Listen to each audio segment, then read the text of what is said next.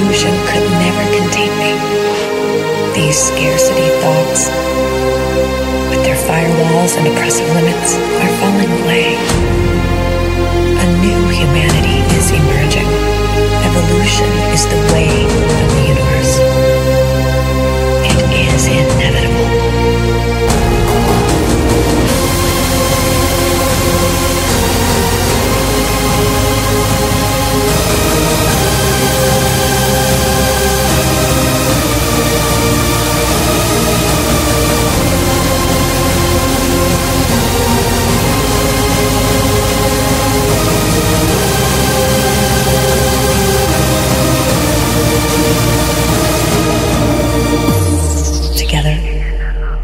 singing the songs of creation, creation, creation.